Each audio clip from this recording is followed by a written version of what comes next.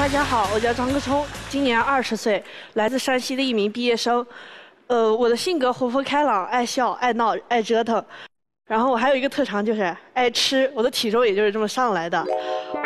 我实习时做过酒店前台，今天来到非你莫属的舞台，想寻找一份关于培训师助理、会计的工作。谢谢大家。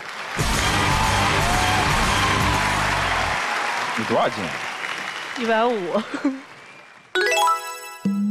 你快赶上我嘞！减减我减肥，还挺可爱的。吃很多很多东西，就是爱吃小龙虾。你能吃多少？一次能吃三百个。三百个？对，差不多差不多。你做那个酒店前台的收入能够支持你吃这么多小龙虾吗？不能。谁买单？啊别人。一上来就那么犀利，他刚开始上来，所有的话题我都没有做好思想准备，说实话。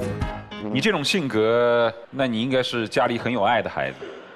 我家还好。你家几个？我家两个。两个。有一个哥哥。那家里对你的教育是什么样的教育呢？棍棒底下出孝子。我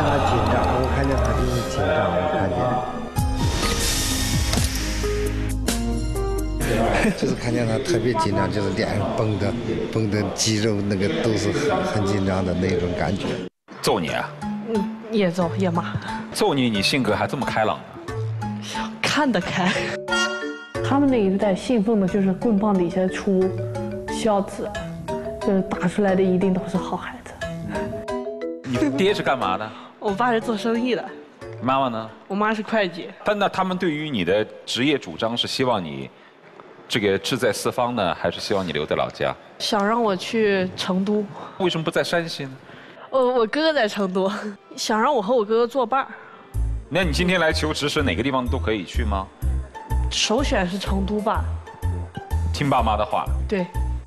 那平时对于你的学习啊、生活啊、交友啊，管吗？小的时候管，现在不管了。小的时候怎么管嘛？小的时候就是说是。他们见着这个同学说他不行，然后就不是很建议让我和他们多接触。啊，社交是管的。嗯，对，社交是管。啊，其他的呢？消费呢？消费现在管，以前是没有什么零花钱，现在是有零花钱了，然后就管的比较多一点。你管你不照样吃三百只小龙虾吗？现在不会。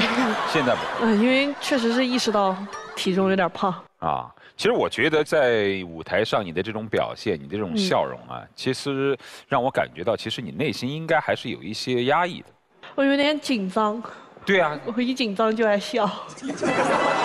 爹妈从小到大夸你吗？不夸。从来不夸。对，从来不夸。当着我们的面的话是不夸。为什么当面不夸你呢？你说男孩不夸，我觉得可以理解。女孩为什么不夸呢？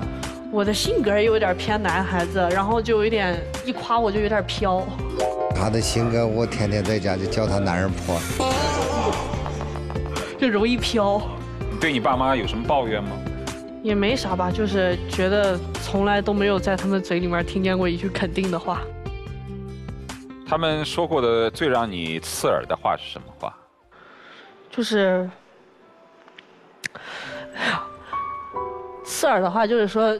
你怎么，就是你，你还不如你哥哥强。就是你以后肯定就是什么，你要是现在不努力，你以后肯定就是扫大街啊，去要饭什么的。说这种话比较多一点。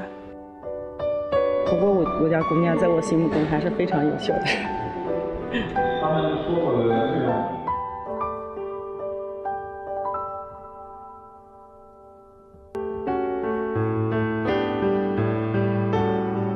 就是希望他肯定你，对，希望他夸你，对，是吧？我不是一个坏孩子，我只是一个学习不好的孩子。